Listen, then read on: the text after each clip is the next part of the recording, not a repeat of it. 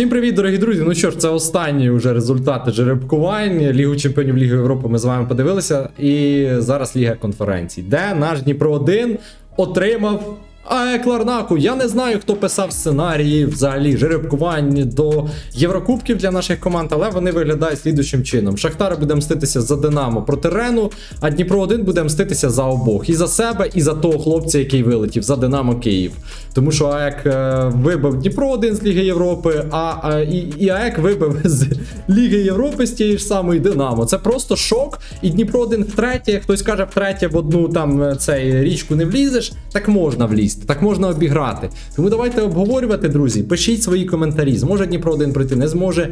Ну і взагалі пишіть по всім парам, які ми зараз обговоримо, хто пройде в одну восьму ліги конференцій. Тому поїхали, а перед початком лайк, підписка обов'язково і коментар.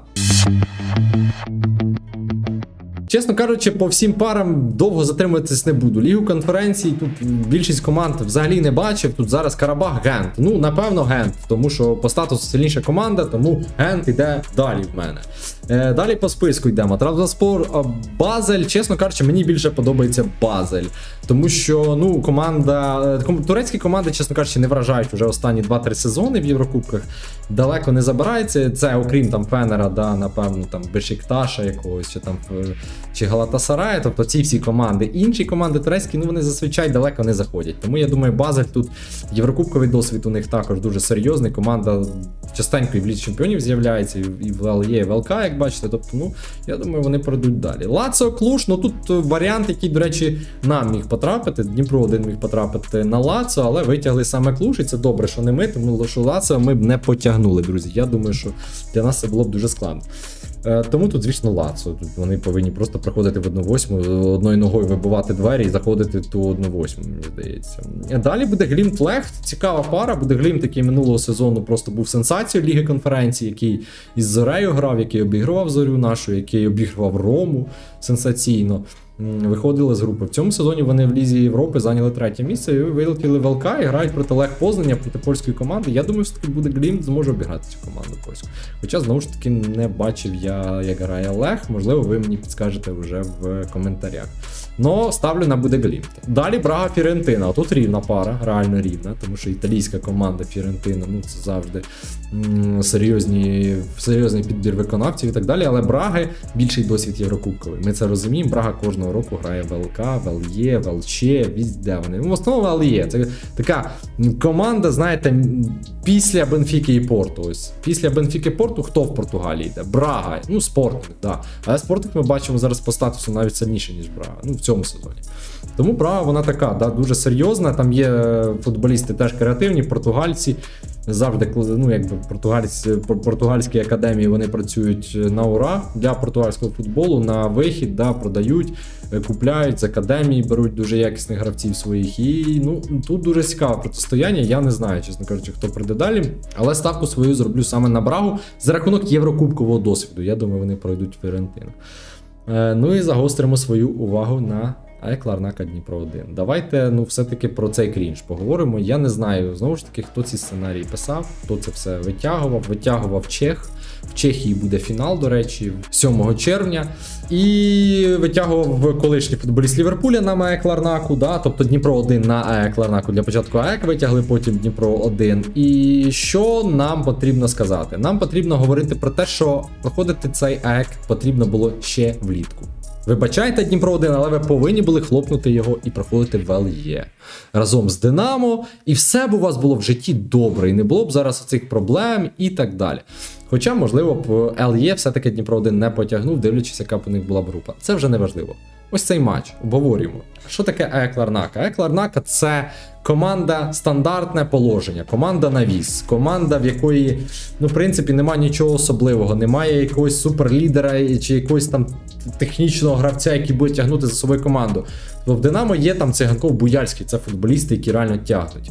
В Дніпра один є Довбик, є Піхальонок, е, є там цей аргентинець Бланко. Да? Це вони, вони виділяються реально. У Екларнаки є просто команда. Є 11 футболістів, які виконують свої функції на футбольному полі, які грають в основному при стандартах. Вони забивали Динамо, пам'ятаєте, да, красиві голи. Тобто вони забивали з навісу. Пам'ятаєте гол ворота Динамо, коли він е, ножницями забив в штрафній площі, і гол зі штрафного ворота Динамо. Е, З кутового дуже багато голів забивається. Тобто гра при стандартах. Оце потрібно зараз попрацювати е, над цим компонентом Дніпро 1. І Динамо показало, що саме в цьому турні, в цих турнірах ЛК, ЛЄ, гра при стандартах ключовий момент, тому що команди в основному грають, ну, забивають свої голи зі стандартів, мало креативних команд, особливо в ЛК. Е, Команди більш робочі, команди більш які беруть е, своє е, при таких якихось да, там використовують свої стандарти і беруть очки. І такою командою є і кіперська команда як Ларнака. Дніпро 1 це все-таки команда атакувальна. Ми побачили, що Дніпро 1 цього сезону і в УПЛ, і в ЛК грає однаково. І це приємно. Але Дніпро 1 не вистачає єдине. Резерву. Не вистачає глибини складу, не вистачає в запасі тих футболістів, які будуть освіжати основу. Нема, тому що в останньому матчі ЛК в шостому турі проти АЗЛ Камару три польові футболісти в Дніпра 1 були в запасі, і три голкіпера. Це нормально, це ненормально.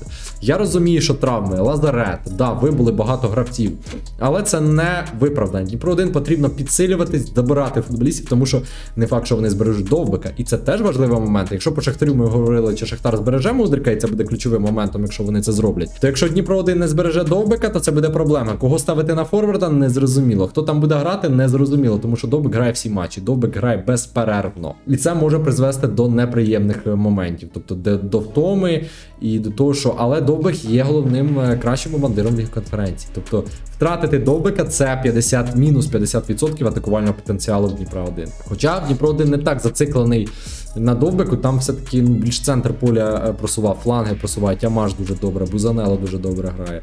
Тобто тут є е, більший вибір навіть ніж в Динамо. Розумієте, в Дніпра 1 більший вибір футболістів якісних, які можуть дати результат більше, ніж в Динамо. Тут е, дійсно момент, який потрібно зараз обговорювати. Ну і знову ж таки, якщо Дніпро 1, давайте так, збереже довбика, якщо Дніпро 1 підпише пару якісних футболістів під резерв, а можливо під основу, якщо Дніпро 1 не втратить жодного гравця із основи.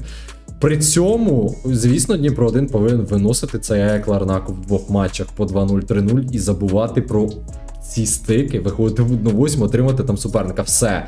Ні про що інше говорити не можна. Не, не, не треба говорити, що тут не все так однозначно, що АЕК Ларнака це серйозний колектив, вони там з Динамо грали і так далі. Динамо мертве. Забудьте про Динамо. Динамо е, ми будемо обговорювати вже в слідчому сезоні. Зараз Динамо Київ для нас не існує, тому що вони провалили сезон повністю. І в чемпіонаті старт чемпіонату провал, і в е, Лізі Конф... Ліги Європи. Дніпро 1 все-таки ніфіга не провалив. Дніпро 1 йде на першому місці в УПЛ. І Дніпро 1 зайняли друге місце в ЛК. Класний результат. Тому прогноз мій прохід Дніпра 1, при тому, якщо Дніпро 1 буде якісно працювати. Якщо умовно навіть ми представимо, що да, Довбик піде, то я чекаю пейшоту. Я чекаю, що Красніков домовиться з е, умовним пейшоту, з умовними там футболістами, які повинні були прийти в металіст. Вони підсилять зараз Дніпро 1, вони награють їх е, на, на е, товариських матчах. На зборах. Пауліньо Боя є там класний гравець. Є, є ще пару, я вже забув. Ріаскос, по-моєму, да? Ще там, можливо, якихось нових гравців, е, можливо, з УПЛ когось подивляться, там із зорі візьмуть з Ворскли, і то не факт, що віддадуть, але можливо. Тобто, ось тут треба працювати над резервом. Резерв буде, буде результат. Я буду болювати за наш Дніпро 1 і бажаю успіху. І мій прогноз, звісно, ми пройдемо далі. Без ніяких варіантів. А як на це не заслуговує. Ну і далі дві пари: шериф партизан. Поставлю на партизан, тому що мені не подобається шериф. І до Лудогорець Андерлех. Тут візьму все-таки Андерлех, що вони пройдуть далі.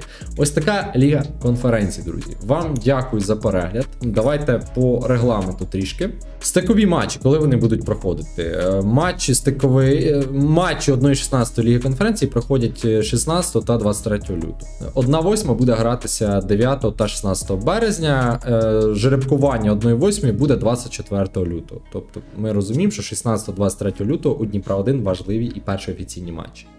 Ось це потрібно розуміти. Далі 1 четверта, 13, 20 квітня, 1 2, 11, 18 травня і фінал 7 червня в Чехії 23 року. Тому будемо надіяти, що Дніпро 1 пройде в цьому турнірі якомога далі. ставте лайк, підписуйтеся на канал, пишіть свої коментарі і всім до нових зустрічей.